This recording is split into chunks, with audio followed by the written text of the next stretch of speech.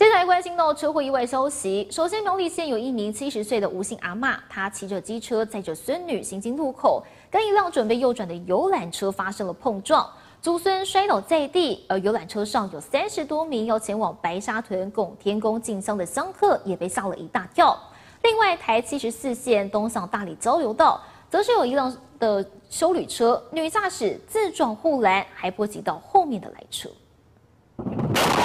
行车记录器拍下这惊险瞬间：五十五岁的叶姓女驾驶开着修理车行驶台七十四线，不知道是恍神还是分心，不慎自撞减速车道出口鼻端之后失控，再撞后方来车，受伤送医。警方对双方驾驶人施以酒测。其九测值均为零。镜头转到苗栗，一辆修理车从通霄镇苗一二八线要右转到台一线，右侧一辆机车疑似刚好在游览车视线死角，双方碰撞之后，机车上一对祖孙连人带车横倒在地，还好游览车紧急刹车，阿妈意识清楚。